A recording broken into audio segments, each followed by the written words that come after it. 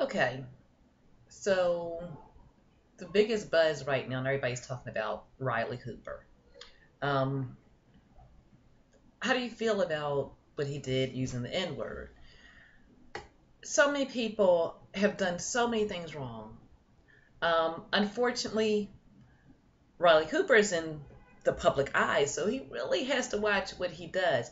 I think that he actually is sorry for his actions. Um, he seems very remorseful. He has gone, he has um, apologized to his teammates, he has made public apologies. Um, so, are people really going to give him a chance? The Eagles, they have suspended him. They didn't even give him a timetable on when they're going to let him back in. Um, but yet, he, he's suspended, I think, from all um, activities.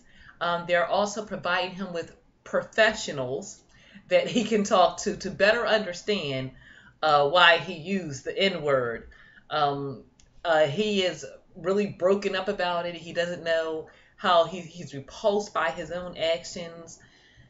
I mean, seriously, cut the man a break. You have other professionals. Michael Vick, he goes out here, he fights dogs, he goes to jail for it. He gets out, he's forgiven. Um, so why can't Riley Cooper be given a chance? Michael Vick has forgiven him. Avant has even forgiven him. Um, his teammates are actually in support. Uh, he had one teammate, um, I forget which teammate it was, but actually said that, um, yeah, you know, he he forgives but he doesn't respect somebody who could use that type of language. Okay, so what? Does that mean that he is not going to be any good on the field anymore? Um, the word that he used does not affect just how well he plays ball. So I say let the man play ball. You have um, Christopher Brown that who went out here and beat up poor Rihanna to death. Well, not to death, but if you saw the pictures, close to it. Um, he beat her up. Um, after that, how many albums did he make? You know, for the most part, people have forgiven him. Rihanna even forgave him.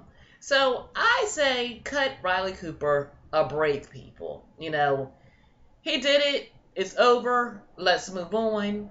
Um, there's no sense in continuing to penalize the man. There's no sense in it. But that is just the way I feel. That is my take on it. Um, this is just Yvette Scipio's feelings. I'm not speaking for anybody else, but yeah,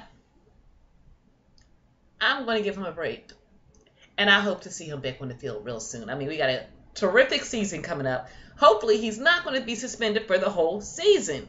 So, Eagles, give him a break, people. Give him a break. You know, I do say that he should be reprimanded, which he is. But you have to make the punishment fit the crime. And I don't think that what he did should take away his means of making a living. That's just my take on it. You have a great day. In fact, why don't you tell me what you think about it? Post your thoughts. Comment on Facebook and let me know what you think about it.